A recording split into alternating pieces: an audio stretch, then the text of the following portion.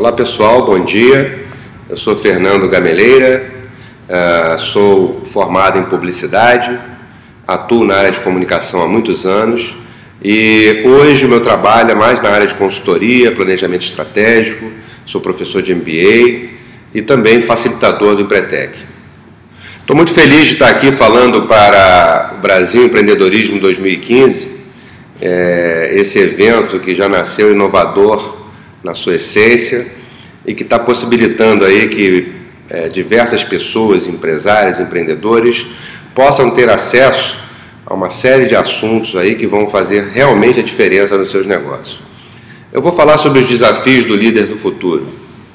E para falar do futuro, nada melhor do que a gente olhar um pouquinho para o passado. É, a história da humanidade é marcada pela ascensão e queda de impérios. Esses impérios, após mudar o mundo, eles acabam sendo substituídos por outros mais fortes e inovadores.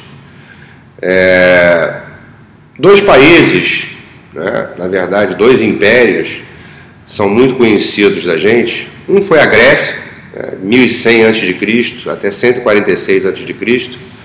Só para vocês terem uma ideia, gente, a Grécia, essa potência antiga, no século IV já possuía a economia mais avançada do mundo.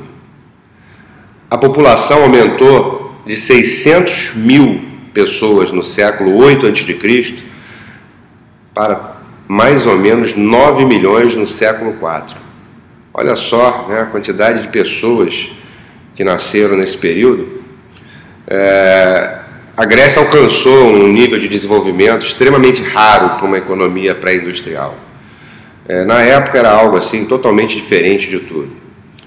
É, ela estava em vantagem, inclusive, em alguns pontos, é, se comparada às economias mais avançadas da Revolução Industrial, bem como também aos Países Baixos e até a Inglaterra do século XVIII. É, eu tenho certeza que vocês já ouviram falar de algumas contribuições gregas, as regras básicas da geometria, a ideia da derivação formal, a teoria dos números, análise matemática, matemática aplicada, cálculo integral e também de três nomes bastante conhecidos de, dos estudantes: Pitágoras, o famoso Pitágoras do Teoremas, Euclides e Arquimedes. É, não posso deixar de falar também sobre Roma, né? a Roma do século 8 a.C., que de Estado acabou virando um império. Né? É, foram os romanos que construíram estradas que ligavam todo o império. Edificaram aquedutos que levavam água limpa até as cidades. Olha só, a gente está falando, gente, uh, de muitos e muitos anos atrás. Né? A gente está falando de situações que até hoje afligem as grandes metrópoles. Né? E lá naquela época, os romanos já tinham já resolvido uma série de problemas que até hoje são problemas para as cidades.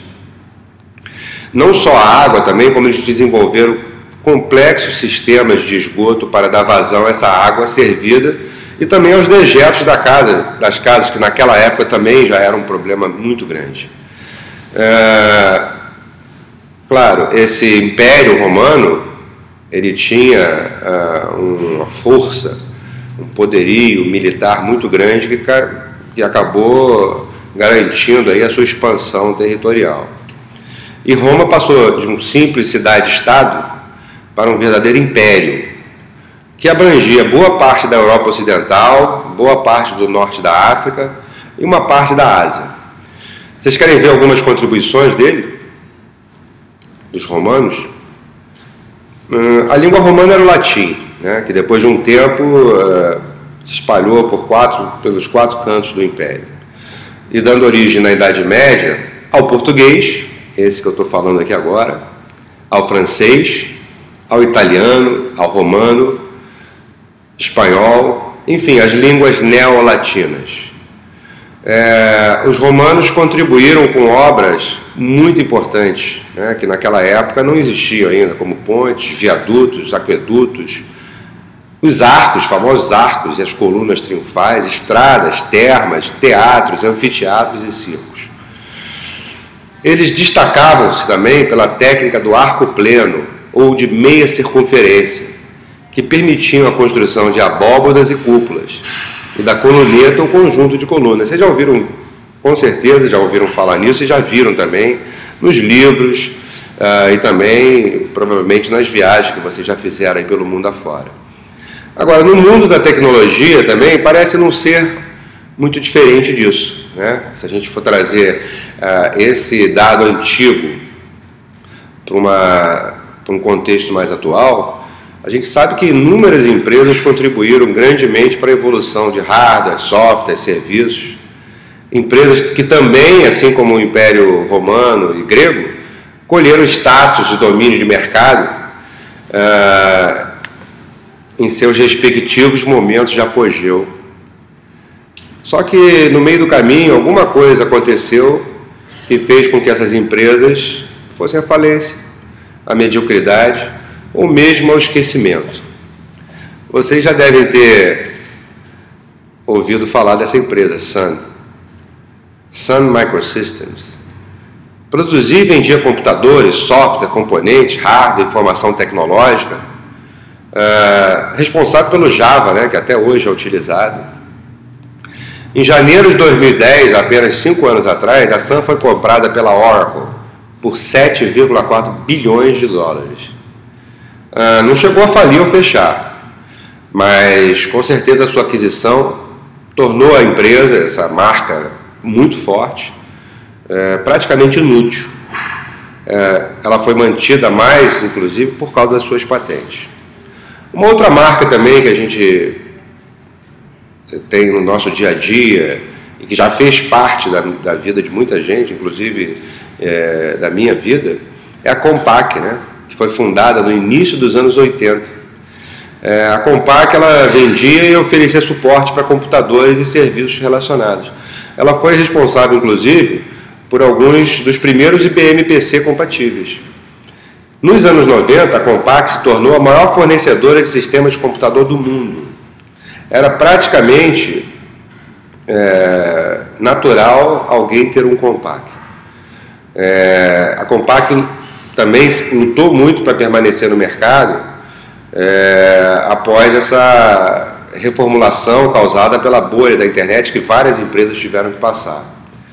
É, mas ela perdeu a sua colocação para a maior fornecedora para a Dell em 2001.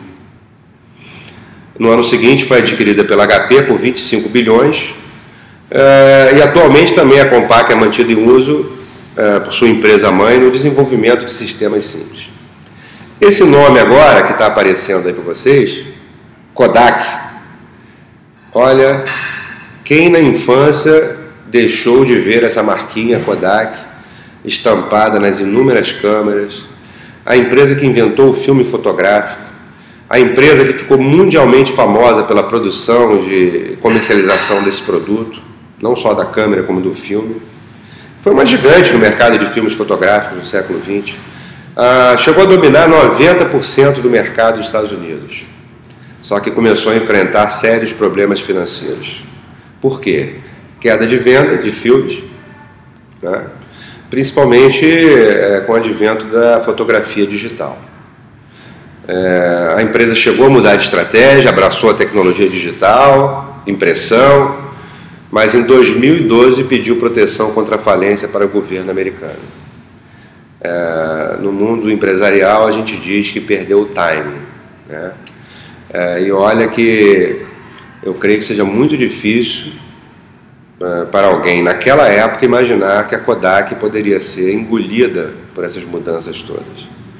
É, não sei se vocês também já ouviram falar do Napster, né, que foi o primeiro serviço pioneiro, inclusive no compartilhamento de arquivos é, de música, né, com foco em MP3. É, aliás, o Napster tem um dado interessante que até pelo seu pioneirismo, que é uma coisa muito, muito boa, mas também foi um dos principais bodes expiatórios das grandes gravadoras. Né? Enfrentou múltiplos processos legais de infração de direitos autorais, ordem judicial para encerramento das suas é, operações, e o serviço acabou original, fechado e adquirido por uma outra empresa americana. Ou seja, a empresa durou somente de junho de 99 a julho de 2001.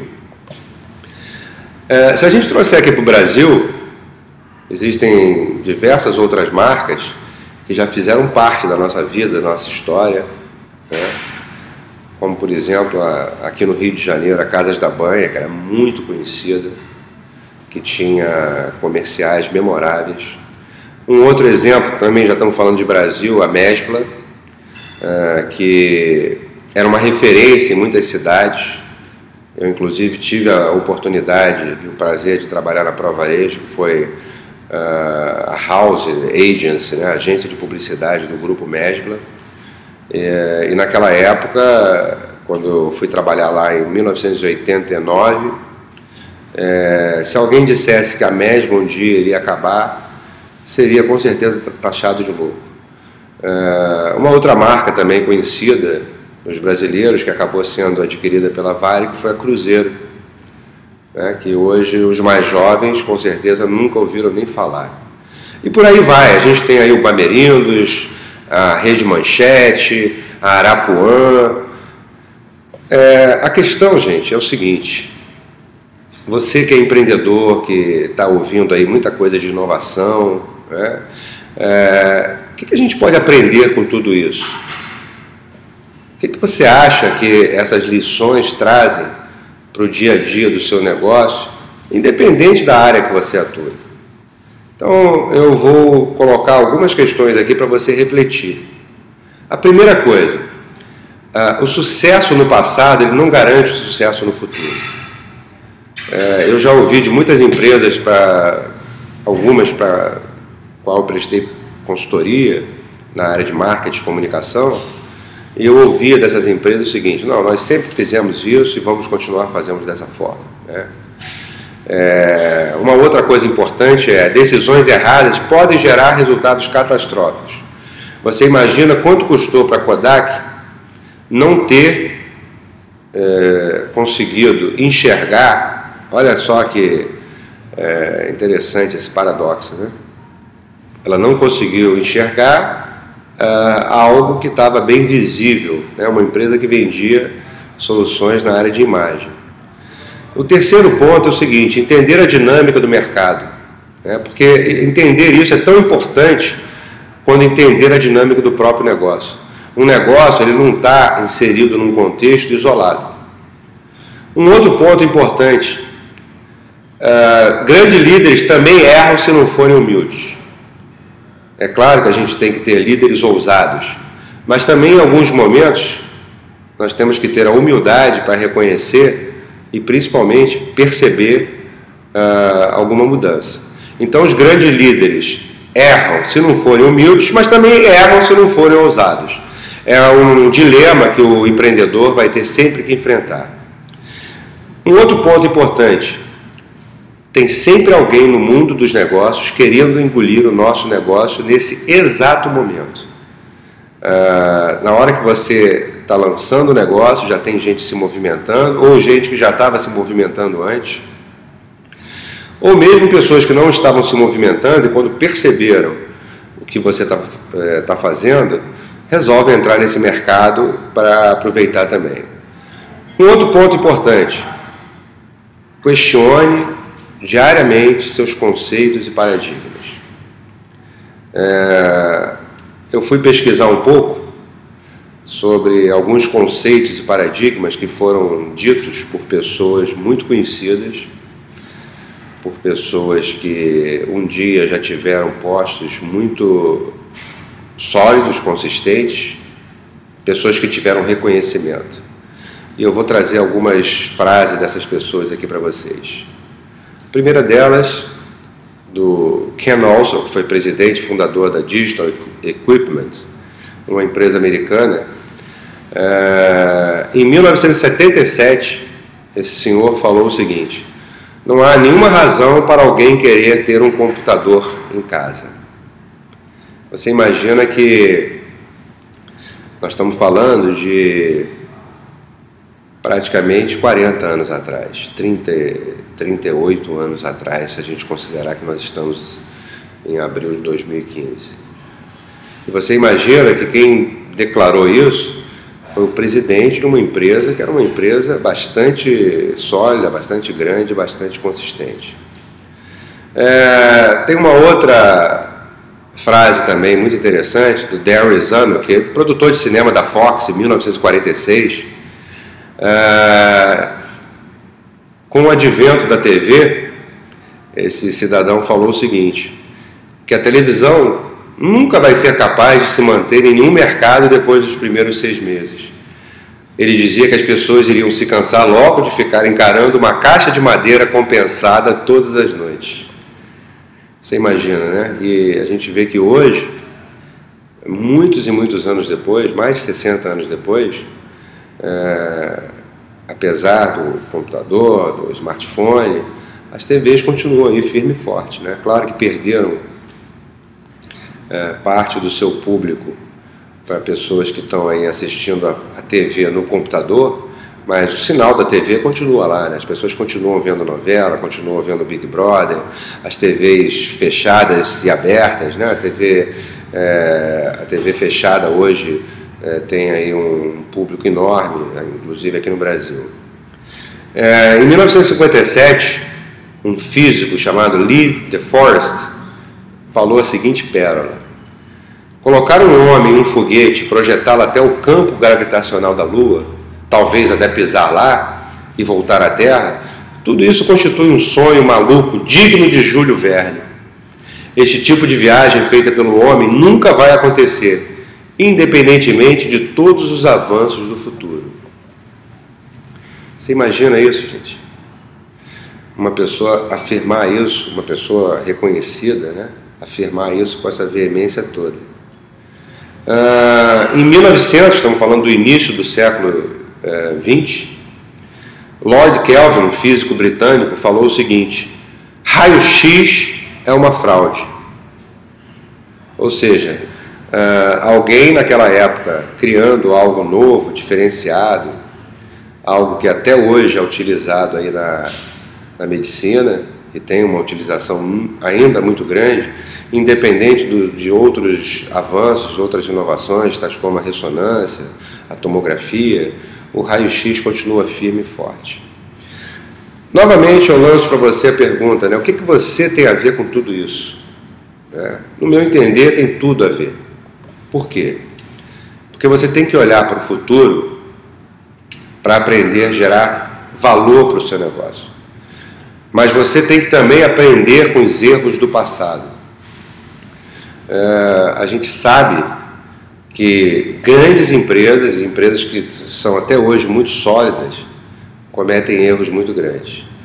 É, eu me lembro que eu li o livro é, do Bill Gates, chamado A Estrada do Futuro. Esse livro eu li no final dos anos 90. E o Bill Gates teve um, apesar de ser um cara brilhante, inegavelmente brilhante, o Bill Gates teve muita dificuldade para aceitar uh, a entrada no mundo digital, no mundo das nuvens. É, então ele criou sua companhia brilhantemente em cima do, do Windows, né, que foi um, uma, uma, quase um aproveitamento de algo que já existia é, e ele conseguiu, através de uma estratégia brilhante, muito inteligente, espalhar aí o seu sistema operacional pelo mundo todo. E até hoje o Windows é o sistema mais utilizado. Mas é incrível pensar assim, como é que um líder como Bill Gates também consegue cometer erros assim tão graves, né? Erros que podem custar a própria, a própria empresa. Então, é, a minha proposta é você tem que parar para pensar como você pode ser mais. Né? E ser mais, ah, para mim, é pensar como líder do futuro, o empreendedor do futuro, o empreendedor que está aí uh, vendo uh, tudo acontecer, mas está pensando sempre numa forma de melhorar, sempre numa forma de inovar, de dar um, um novo formato, de entregar de forma diferente. É, durante os treinamentos Simpretec que eu tenho dado aí ao longo de 17 anos, é, eu já vi muitas ideias legais surgirem dentro de sala. Né?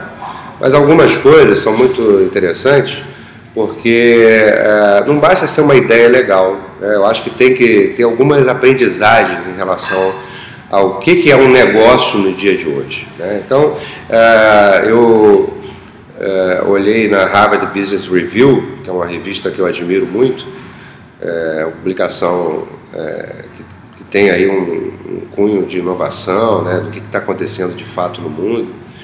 É, e algumas coisas eu achei bastante interessantes que eu gostaria de compartilhar com vocês. A primeira coisa, é, a questão do impacto social. Né? Uma empresa com visão, e óbvio, um empreendedor com visão, trabalha para ganhar dinheiro sim, uh, mas nas suas escolhas para faturar, é, pensam em criar instituições duradouras.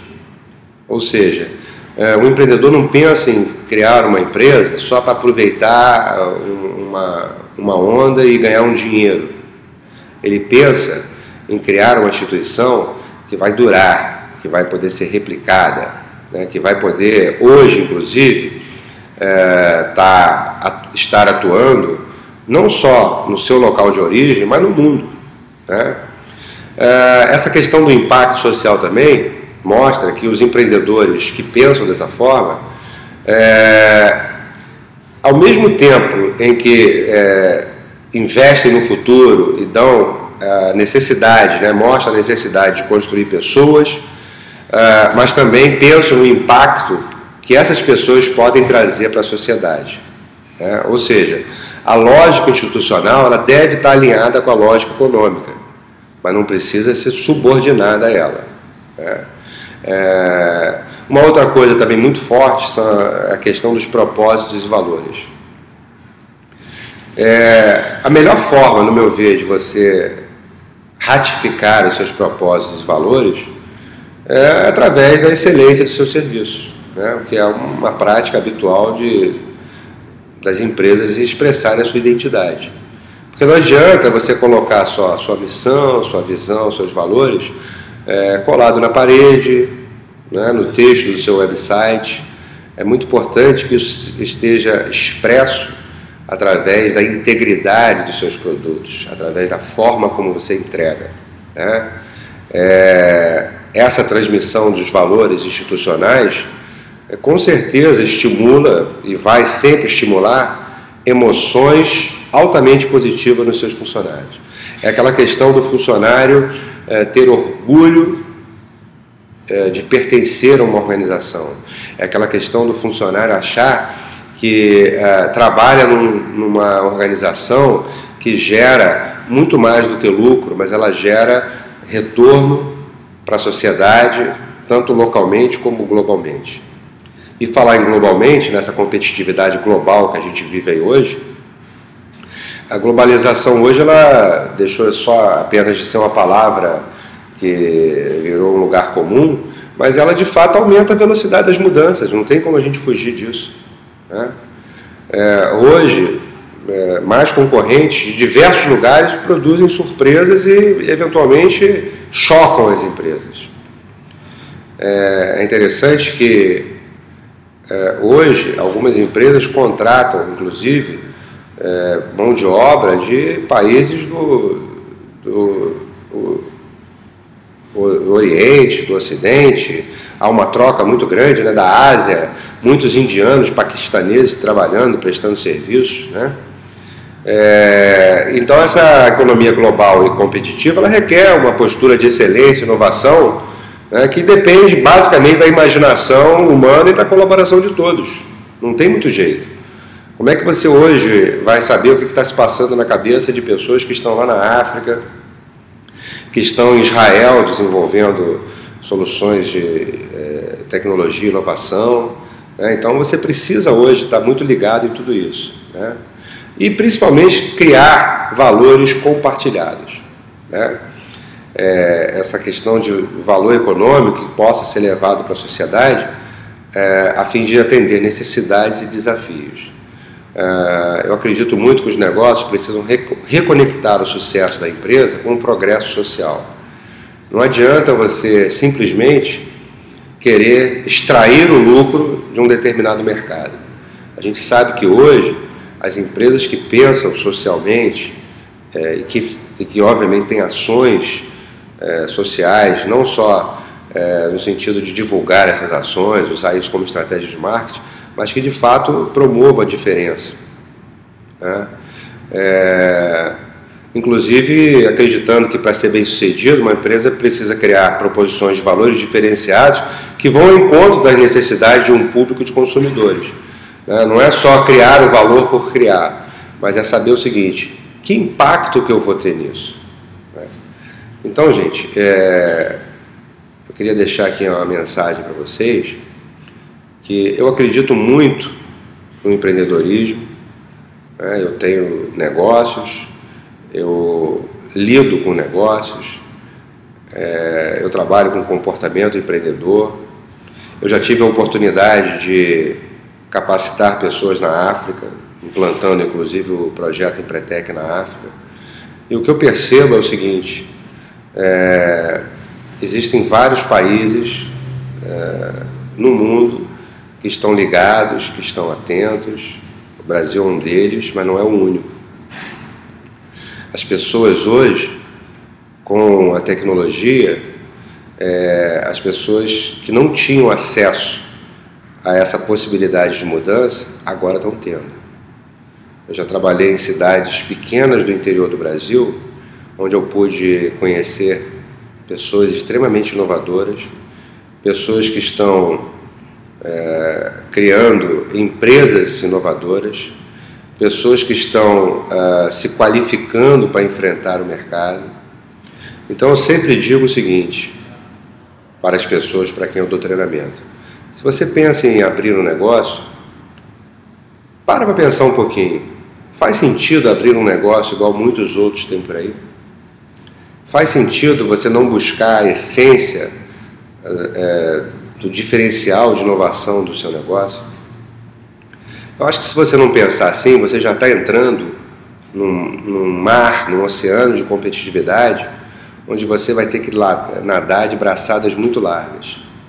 Então é muito importante pensar em inovar, pensar na sociedade, pensar uh, nos seus colaboradores, né, para que eles tenham orgulho da sua empresa e, claro, obviamente, pensar em lucro, né, porque toda empresa pressupõe lucro.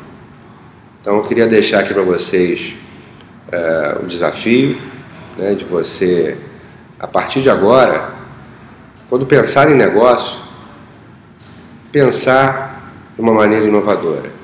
Mas não nessa inovação que está sendo falada hoje, né, como uma palavra da moda, mas uma inovação que já vinha desde lá da Grécia, desde lá de Roma, ou até muito antes, né, dos, é, dos homens primitivos.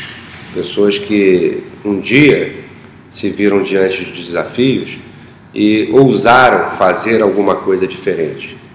Uh, ousaram e por isso eventualmente foram criticados, questionados, mas tiveram a capacidade de realizar. Eu acredito muito que, independentemente do momento que a gente está vivendo hoje no Brasil, onde a palavra crise voltou a, voltou a ser pronunciada aí é, abertamente na mídia, dentro das salas de treinamento, nas reuniões. É, eu acho que essa palavra hoje, é, ela é uma palavra que ela vai assustar muita gente, mas é uma palavra que se você pensar de uma maneira diferente, se você não quiser criar mais uma empresa para esse universo de empresas, se você for buscar a sua fatia do mercado que está aí guardada para você, e se você também se ligar nas tecnologias, é, eu acho que essa palavra crise ela vai passar bem longe de você e você vai ver que é possível é, crescer nesse ambiente de crise, de incertezas, porque eu tenho vários exemplos dentro de sala que eu vejo todos os dias, né, que eu estou dando treinamento, de pessoas que diante de uma situação é, que muitos iriam reclamar, essas pessoas fizeram mudanças na sua vida, mudanças no seu negócio. Então, essa é a mensagem que eu gostaria de deixar para vocês. Queria agradecer demais aos empreendedores do Brasil Empreendedor 2015, que tiveram a, a ousadia de criar um evento, estando lá em Belém, e um evento que, pelo que eu vi, é, se espalhou não só pelo Brasil, mas pelo mundo afora. Né? Eu tenho acompanhado aí a performance do, do Brasil Empreendedor 2015, eu vi que tem é, acessos vindo de, de várias partes do mundo. Parabéns aí ao, aos inovadores, aos empreendedores. Eu acho que agora é o momento de a gente aproveitar toda essa tecnologia que está permitindo que eu dê essa, essas palavras aqui para vocês e fazer alguma coisa melhor pelo nosso país, né, porque eu acho que tem muita coisa para ser feita ainda. Muito obrigado e até a próxima.